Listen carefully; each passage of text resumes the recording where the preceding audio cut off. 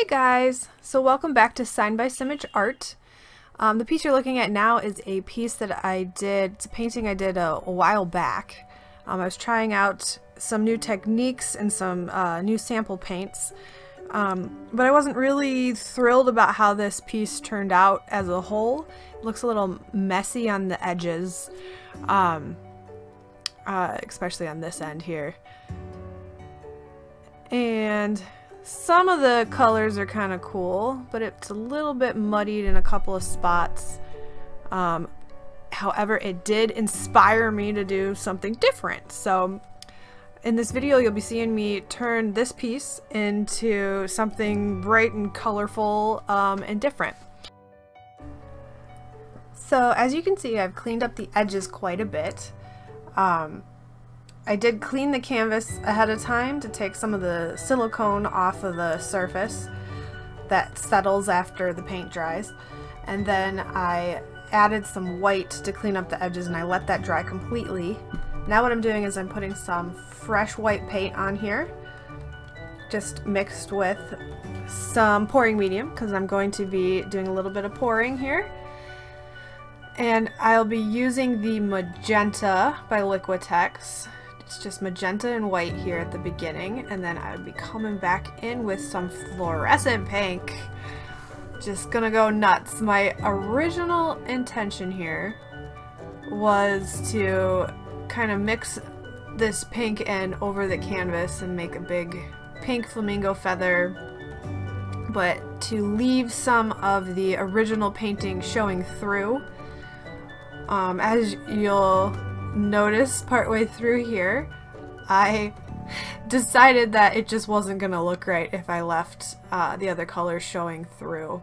Um, I even thought about blowing the pink across the canvas in a thin layer so that it was still a little translucent, but none of that was going to look right. It was still going to look messy um, or incomplete.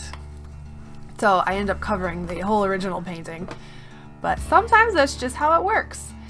Um, sometimes we become inspired to do this awesome painting and we get started and we do the painting uh, and it turns out perfect. Sometimes you, you can't find inspiration so you just gotta start painting. And once you've started painting, you find inspiration in the painting that you've started. That's just kind of how my process works. So I always got to be doing something.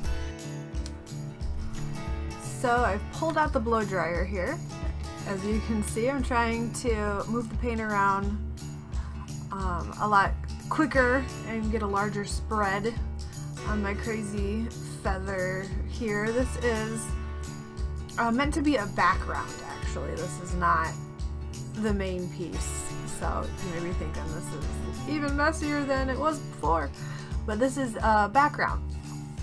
So I was inspired by the last piece um, to do uh, some silhouettes of birds on a telephone wire. And I did take some pictures of a telephone wire on my way home from my studio space, there was a collection of wires, and I liked the the way the birds were sitting. It was a, just a cool composition. And I thought I gotta find a piece that I can add this to, and, and I thought this looked like a bird feather originally, the shape. So I wanted to do something with pinks in it. I thought about a flamingo and I thought how goofy would it be if a flamingo tried to sit on a telephone wire so that's my whole inspiration behind this piece. So I used to like painting in more of a realism style but lately I've been very into uh, painting things that are a bit more abstract and suggestive instead. It's a big bright splashy background of something that's blown up real big and then a black silhouette on top of that um, that indicates exactly what it is that you're looking at. So real quick, this is my son Landon. He was standing there talking to me and he wanted to photobomb my video, so I let him. So here I'm finishing up my flamingo friend here with some little tail feathers. Um, I love the way that this turned out.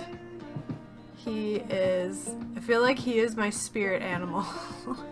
He's so goofy.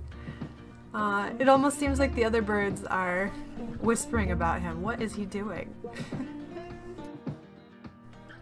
so thank you for watching guys. Um, if you enjoyed this video, remember to hit like and then subscribe so that you can see more of my work as I continue to post videos.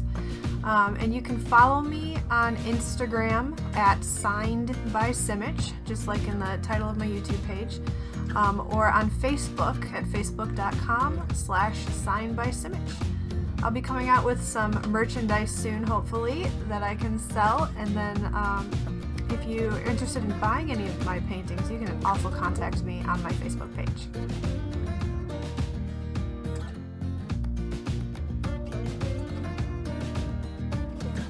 For watching. See too.